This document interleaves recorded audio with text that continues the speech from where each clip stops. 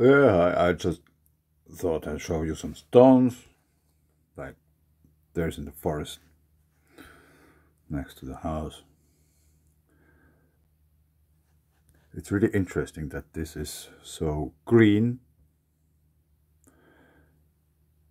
because this might indicate there is something in the rock which makes this green stuff flourish on top of it because there's many rocks there's nothing growing on them like for example the plasma rocks there's nothing growing on those and this picture isn't altered in any way that's the original picture it's really green stone and next to it we find a cup stone here I digged a little bit out that you can see the cup.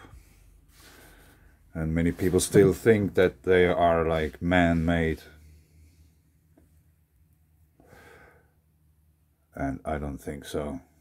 And the funny thing is I was sending some pictures to some how to call it? I don't want to say the names yet.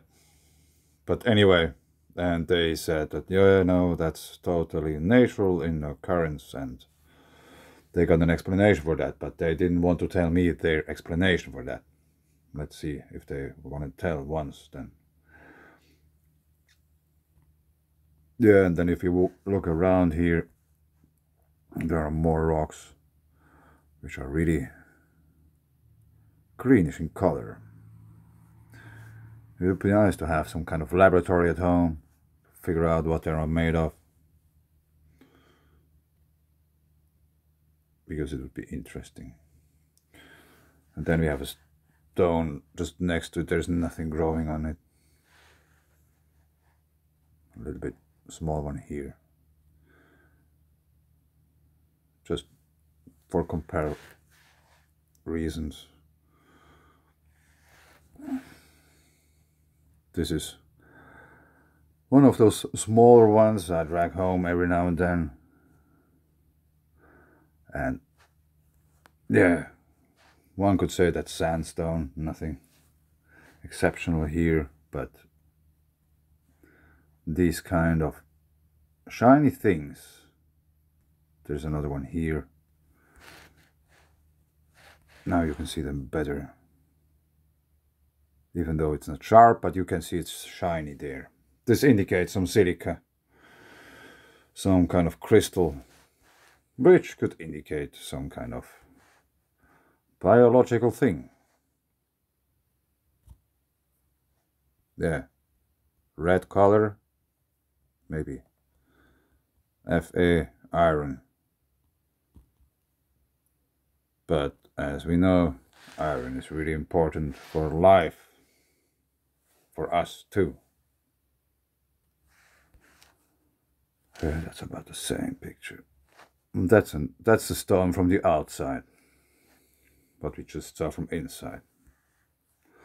And it's wet as you can see because it makes many things much more visible.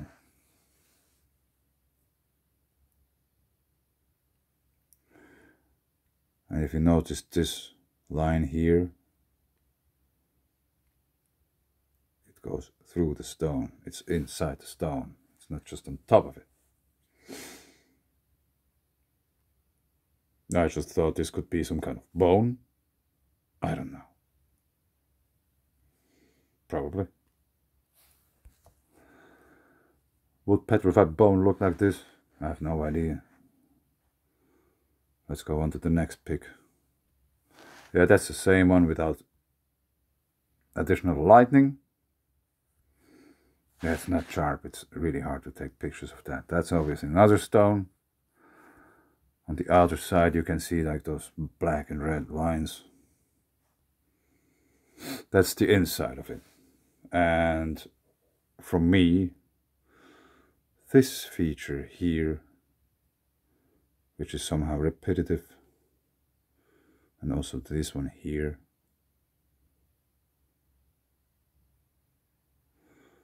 somehow for me this looks like wood. And it's a little bit more color to it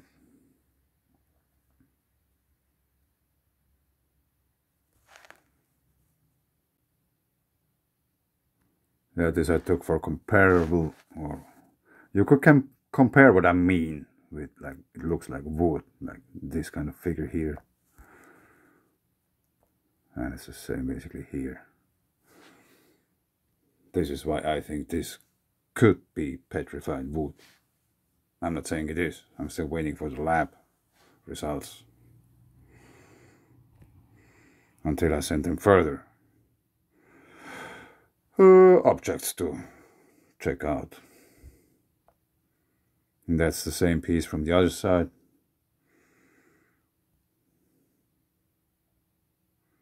Then again, that's wet because you can see much better like what's going on.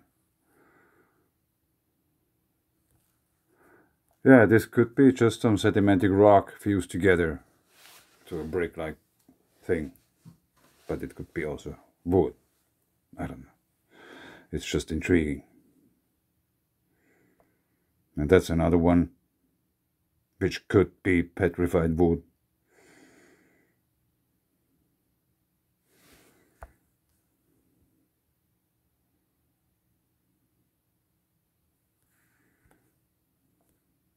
It has this kind of circular shape to it. Yeah, really good picture.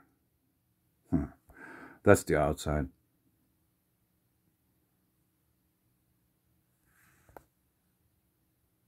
Mm, this could be barn, like worn down barn or something. That's the other side, which is not cotton.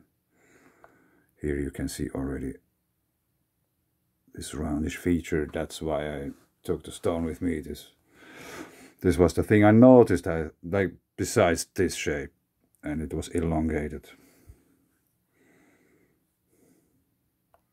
Yeah, that's a fascinating piece. If you watch closely, you can see here these kind of black streaks which go everywhere. And of course, it's really easy to figure out that we have some kind of outer side to it, which is different in color. To have a bigger, no, that's the other side of it. Then now you can see better what I meant with the with those black lines. I don't know if I showed this rock already once. Doesn't matter. Petrified wood or not, I don't know. Could be. That's a little bit uh, close up of what's going on on the edge.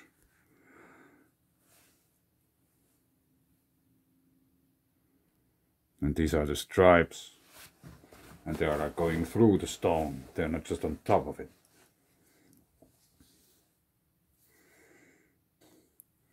Yeah, and that's also some really interesting stone. I have now two of similar kinds. It looks like marmor, marble. That's the other side, like rusty. So this black stuff here in the middle has to be some kind of metal, I guess. Which is oxidating out.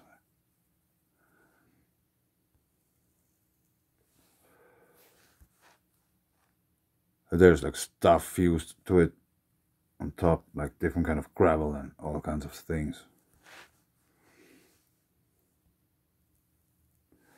That's another one. I think already the color is really interesting. Like really big grains of stuff fused together and Yeah, show me the volcano doing this.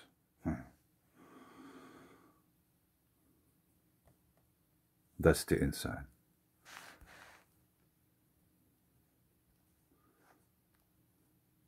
There is probably uh, what is it called?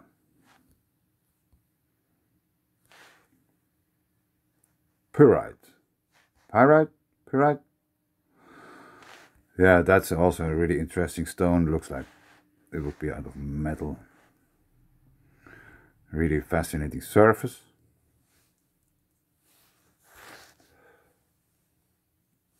And that's the inside. And you can see it's like it's not too massive. It's porous. There's like layers and layers and layers, like air chambers and stuff. But there's also this kind of shiny, shimmery metal things. That's another stone that's so thin I didn't do too much to that because I fear that it, it's gonna break. So probably I'll just try it by hand to get some more out of it. It looks like it would be unsharp the picture, but I guess that's just how it looks. I don't know. Yeah. I just thought I'd show you some rocks. I think it's intriguing. Wondering if they are petrified wood or not, or what there may be. Might be bones or whatever. It's fascinating. Thanks for watching. Yeah. Maybe it, it's boring to talk about stones, but I like to talk about stuff every now and then. And stones are really, really nice because they're always listening.